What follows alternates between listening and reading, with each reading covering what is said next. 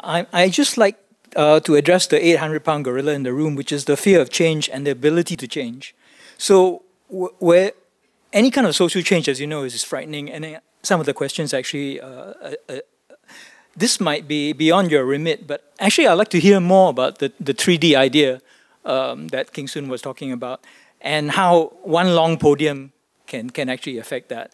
It, it seems like it's going to take more, and it looks like more forums like this actually uh, might be in the planning to actually help achieve that. So um, something more on this would be great. Thank you.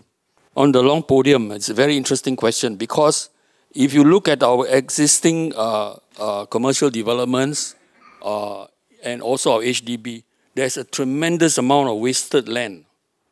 Wasted land in between the plots because the planning requirement is that every development must have a, a, margin of space between one development and another, right? So if you have a continuous podium, right, then you are actually saving a lot of land.